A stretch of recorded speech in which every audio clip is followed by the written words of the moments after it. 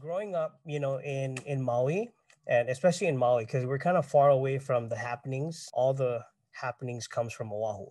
All right. So in the outer islands, like this was like the only thing all the kids would play. Just everything was only Ka'au Crater Boys. Every single picking style, every single thing that he would do.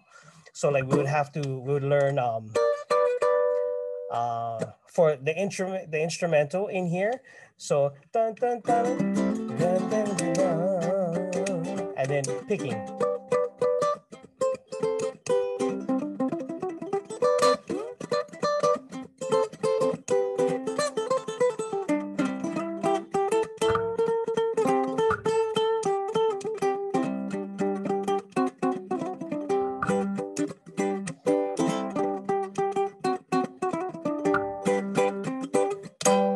So if you couldn't do this when when I was a kid, you're not cool.